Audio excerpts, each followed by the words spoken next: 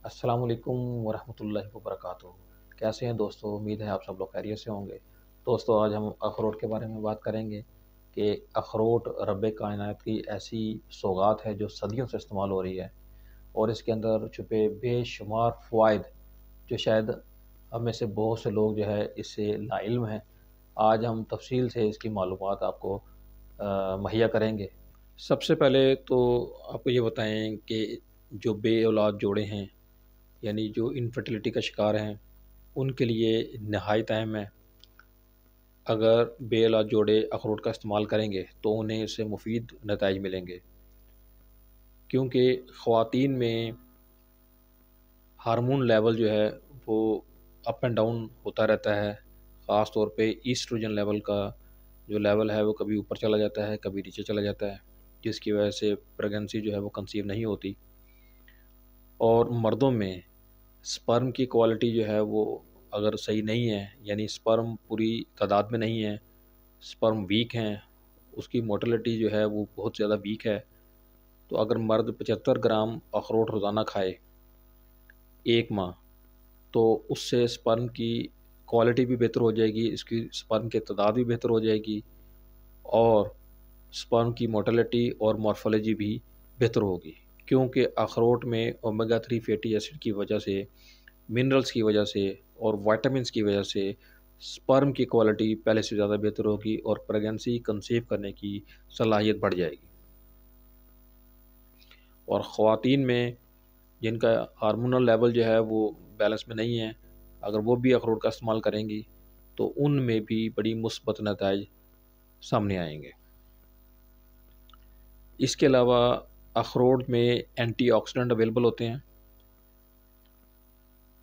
क्योंकि अखरोट में ओमेगा थ्री फैटी एसिड होता है और ये पॉली अनसेचुरेटेड फैटी एसिड होता है, जो सेचुरेटेड फैट जो है, उसके मुकाबले में ज़्यादा बेहतर है। यानी इससे ख़तरनाक बीमारियाँ जैसे ब्लड प्रेशर है हार्ट अटैक है, जोड़ों का दर्द है, वो नहीं होगा, जो कि सेचुरेटेड फैटी एसिड से होता है। दूसरे अल्फाज में ये एक सेफ़ नट है जो हम आसानी के साथ खा सकते हैं।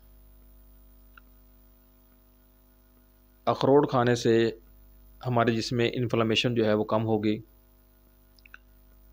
अक्सर लोग जो है जोड़ों के दर्द का शिकार हैं, क्योंकि उनमें इन्फ्लामेशन बढ़ जाती है जोड़ों में, जिसकी वजह से जोड़ों के दर्द का शिकार होते हैं।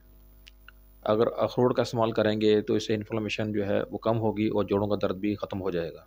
अखरोट हमारे जिसम में गट सिस्टम को प्रमोट करता है। अखरोट हमारे निज़ाम निज़ाम को बेहतर करता है, क्योंकि ये हमारे गट में प्रोबियाटिक बैक्टीरिया की तादाद को बढ़ाता है, जो कि बहुत फ़ायदेमंद है और इससे कब्ज़ भी नहीं होती और हाजमा भी ठीक रहता है। अखरोट खाने से जो कैंसर होने के ख़तरात हैं वो भी कम हो जाते हैं। American Institute of Cancer Research के मुताबिक, अगर अखरोट रोज़ाना खाए जाएँ तो ये बाकी नट्स के मुकाबले में कैंसर के ख़तरात को कम करने की सलाहियत रखता है। वेट लॉस में ये बहुत हेल्पफुल है, क्योंकि अखरोट जो है, उसमें ओमेगा थ्री फैटी एसिड जो कि कम नुकसानदेह है, इसके अंदर वाइटामस हैं और प्लांट स्टीरोल अवेलेबल होता है, ये एपिटाइट कंट्रोल करते हैं, यानी कि ये ज़्यादा भूख नहीं बढ़ने देते जिसम में भूख की शिदत को कम करते हैं और इससे कम भूख लगेगी और वज़न जो है वो कम होगा। खांसी के लिए ये बहुत मुफीद है क्योंकि सर्दियों के मौसम में खांसी का हर दूसरा, तीसरा शख्स जो है शिकार होता है। तो अखरोट में मौजूद omega three fatty acid vitamins minerals और प्रोटीन ये खांसी को ख़त्म करते हैं और ये हमारे दिमाग को शार्प भी करते हैं।